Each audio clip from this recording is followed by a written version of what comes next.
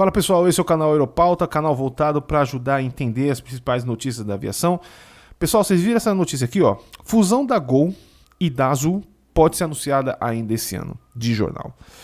É, essa conversa de fusão das duas empresas já havia, de bom, já havia um bom tempo, né? Na verdade, os primeiros rumores ocorreram ainda no ano passado, em 2023, é, de que as empresas estariam conversando aí para se fazer uma, uma junção de suas operações, né?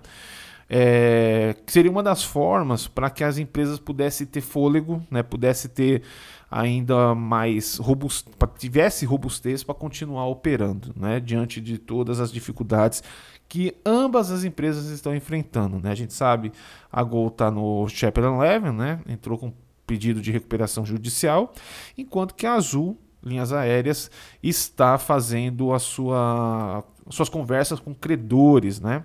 A gente vai ver isso aqui agora nesse vídeo aqui, mas antes não se esqueça de você se inscrever agora mesmo aqui no nosso canal, deixa é, o seu like, né?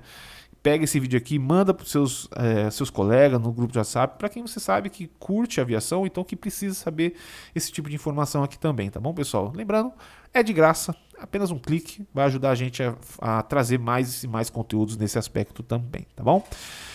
Bom, pessoal, então saiu no Money Times, na verdade não é bem uma notícia do Money Times, porque as informações vieram do jornal Valor Econômico, tá bom? E aqui nos diz, então, que a fusão da Gol, esses, esses é, para quem não sabe, isso aqui são as, os tickers utilizados na bolsa de valores, né? Quando você vai comprar uma ação da Gol, uma ação da Azul, você usa esses tickers aqui, né?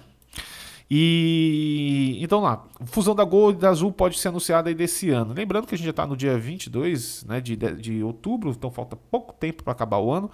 E eles querem fazer esse anúncio, tá, pessoal? O anúncio em si é a parte mais fácil da coisa, né? É, porque afinal de contas eles fazem apenas a parte preliminar de como seria essa fusão, tá? Uma vez que fazer uma operação, uma fusão de, uma, de duas empresas aéreas uh, como essa, né, realmente não é, é uma coisa bem mais complexa, né? Na hora de colocar para valer mesmo a, a, fusão mesmo, né? O anúncio ele apenas vai dar um esboço de como serão as principais características dessa fusão, ou seja, qual o nome que vai, vai que, que nome que a empresa é, é, vai adotar, não é? Lembrando, por exemplo, quando a Azul é, é, fez a fusão junto com a, a, a a TRIP, né? Aboliram o nome da TRIP, né? Deixaram apenas um Uzinho aqui para indicar união e depois nem isso mais tem, né?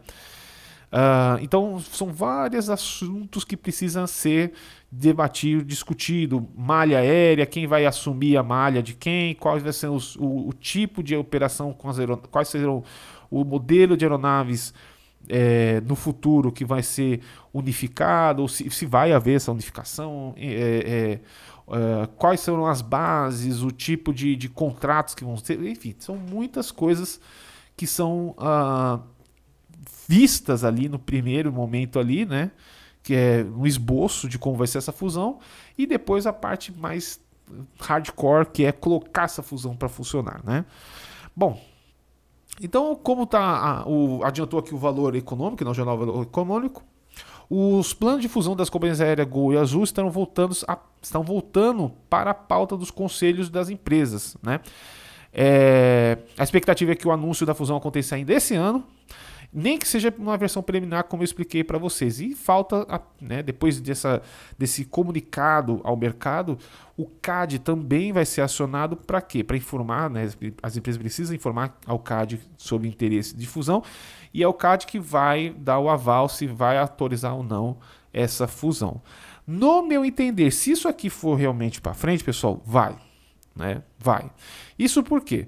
Porque é, a gente percebeu um approach, né? Nós percebemos aí um approach por parte de, de uma das empresas, né? Junto com o governo. Né? De repente apareceu ali, né?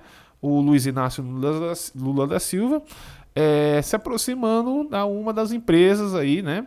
Recentemente, né? Que pode ser, pode ser um indicativo que efetivamente as tratativas para essa é, é, o aval para ocorrer essa fusão deve acontecer. Aí tem gente que fala assim, não, mas o, o CAD ele é independente, etc e tal. É lógico, pessoal, a gente sabe que na teoria é independente, né? Mas assim, na prática, é, às vezes... às vezes essa independência, algumas pessoas ficam em xeque com relação a essa independência, né? É, então, conforme destaca o jornal, então o governo inclusive essa parte que deixa claro essa questão né, do, do CAD, o governo também estaria a par do interesse de, do, do merge and acquisition né, das duas empresas. Né? Uh, ambas já estavam uma, negociando uma união, e eu lembro vocês que isso aqui já vem de longa data, né? Como eu falei para vocês, desde o ano passado eu ouvi a primeira vez que estaria com essa ideia de fazer uh, essa fusão, mas ainda estava ainda muito por dentro assim dos bastidores, né? Mas as conversas diminuíram em meio à negociação da Azul com credores. Isso porque a gente sabe que a Azul ela está é, com uma dívida muito grande, não é? Por questão da, embora que a operação da Azul é uma operação bastante enxuta, é, é bastante uh, dinâmica, etc., né? Mas a, a, outros fatores acabaram influenciando, né? Na, nessas operações da empresa. Uma delas é a questão do, do da alta do dólar, né? A, os arredador, arredadores de, de, fabricantes, né? É, é, das empresas, etc. e tal. Então ficou bem carinho aí para a Azul fazer essa operação, como acontece com todas as empresas aéreas no Brasil. É, é a verdade, né? É, inclusive, em comunicado aqui ao mercado, a empresa destacou aos arredadores e fabricantes concordarem em eliminar sua participação pro rata, ou seja, o cálculo pro proporcional sobre algum pagamento, do saldo atual das obrigações de emissão de ações. Né? Em troca, eles vão receber até 100 milhões em novas ações, né? preferenciais da Azul e uma emissão única. Então, estão querendo fazer o quê? Né? É, ao invés de ter que pagar né, é, as dívidas, né, que tal, é, ao invés de pagar essa dívida, dar ações da empresa aos credores? É uma opção, é uma forma de você poder é, é, injetar dinheiro, aliviar as contas da empresa sem ter que tirar dinheiro do caixa, não é? Talvez seja uma, é uma opção que as empresas têm nesse sentido. Já a Gol, ela registrou novamente um, um prejuízo líquido de 544 milhões em agosto, frente a 221 milhões em julho, tá bom? Então, no mês, no mês passado, por exemplo, né, fazer todas as somatórias das dívidas, a empresa, né, a Gol Linhas Aéreas, tinha uma dívida líquida de 28 bilhões de reais. Pessoal, realmente é um valor muito grande. Né? Realmente a gente fica até imaginando que, de fato, seria uma boa opção para a empresa é justamente fazer a sua associação com uma outra, né? de forma a tentar sair dessa situação aqui que de dívida tão alta. Né? Inclusive, aqui também está lembrando a gente que a empresa entrou né, com uma, uma pedido de recuperação judicial nos Estados Unidos né? E ele, em janeiro desse ano, e, no, e o plano é sair ainda nesse, no começo do ano que vem, né? no começo de 2025 desse plano. Com esse anúncio aqui, pessoal, as ações da Azul e da Gol saltaram 11% após, no... após a nova notícia sobre a fusão. Né?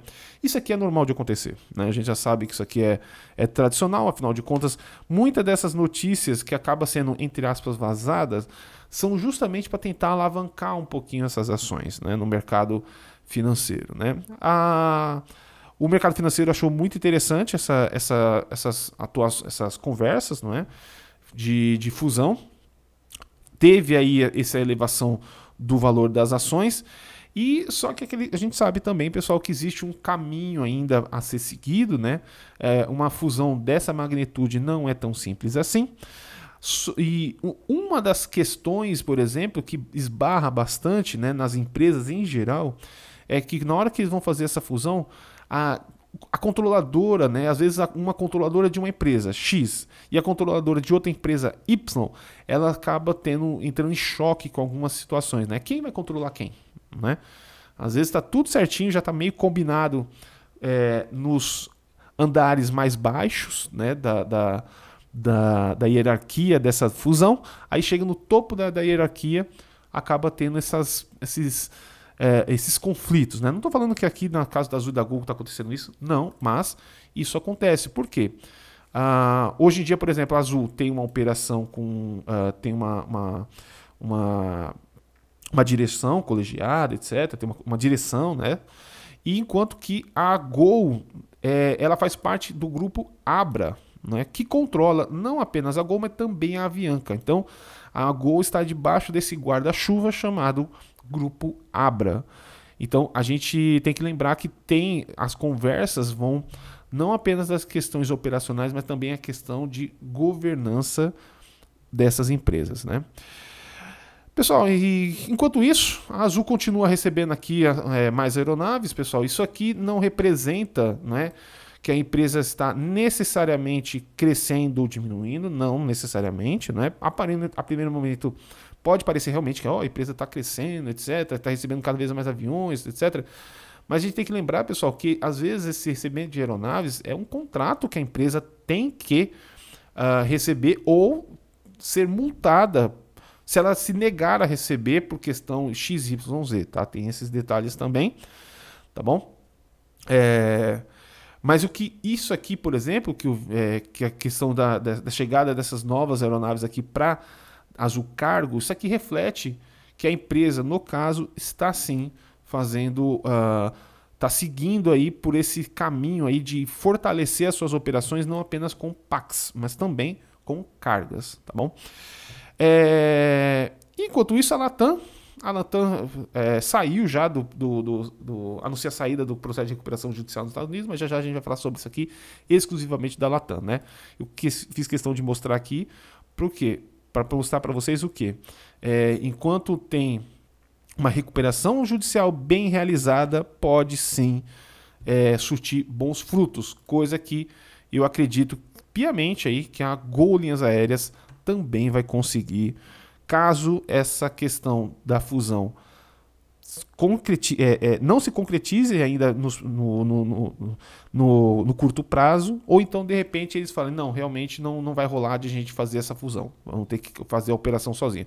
Eu acredito que caso a Gol foque na questão aí de continuar funcionando por questão de, de voos é, é, separados de qualquer outra empresa, eu acredito sim, pessoal, que a, a, da mesma forma que a Latam, se ela seguir o bom, o, os bons princípios, o bom a, o dever de casa que a Latam fez para fazer essa, essa para saída dessa recuperação judicial, acredito também que a Gol vai conseguir fazer isso aí também, tá bom? Espero que vocês tenham curtido o nosso vídeo. Não esqueça, pessoal, de deixar aqui o seu like, deixar seu se inscrever, pegar esse vídeo aqui e mandar para os seus amigos aí, pra, nos grupos de WhatsApp e do Facebook que você participa, tá bom? A gente se vê no próximo vídeo.